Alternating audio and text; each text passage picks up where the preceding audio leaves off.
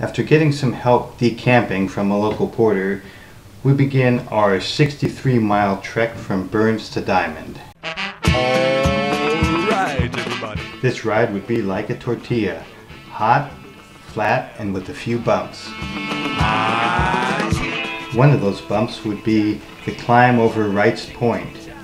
This is a one mile, 220 foot climb with about 5% grade. The reward? A great view from the top and a fun descent on the backside.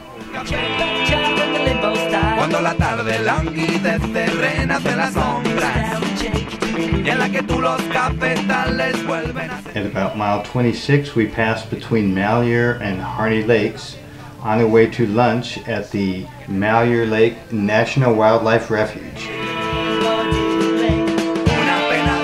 Shortly after lunch, we begin the second climb of the day, a one and a half mile, 315 foot climb at about 6% grades. Once again, there's a great view from the top and a nice descent into Blitzen Valley.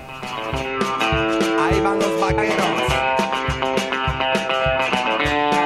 Todos los pistoleros. As we rode through Blitzen Valley, the temperatures climbed to the mid 90s as we rode against a tough little headwind. We skirted the north side of Jackass Butte and Jackass Mountain before turning left on Diamond Lane. Just eight miles to go, and you can see the campgrounds in the distance.